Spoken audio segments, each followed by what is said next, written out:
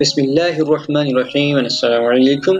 Today the task we are gonna do is use the ADC to convert an analog voltage on ADC channel 0 and display the value on port B if it is between 0 to 99. Display it on port C if it is between 100 to 199 and else display it on port D. It means if the value is greater than 199 then it must be displayed on the port D. We are doing this task on ATmega 16.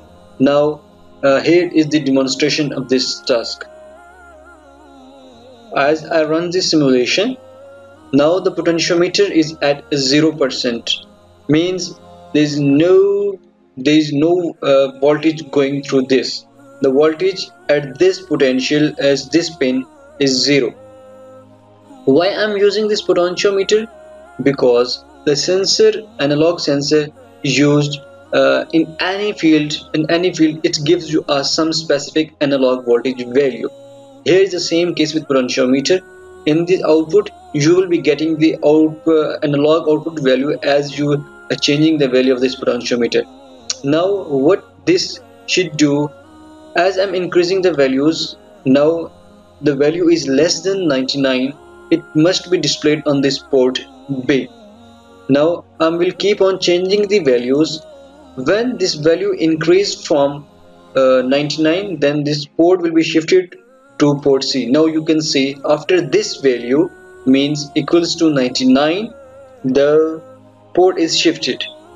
Afterwards the value will be displayed on this port till 199 as I'm still changing the values keep on increasing increasing here is the case. Now comes what?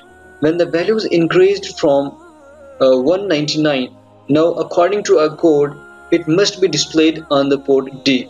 Now what? The value greater than 199 from the sensor value is now being shown on port D. Now I'm increasing the potentiometer value to its maximum.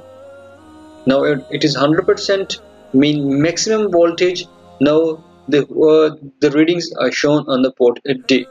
Thank you so very much. Please like, share and comment. I will appreciate your comment to ask more questions. The explanatory video of this source code and the register used in ATmega 16s to utilizing this uh, example I will inshallah explaining soon.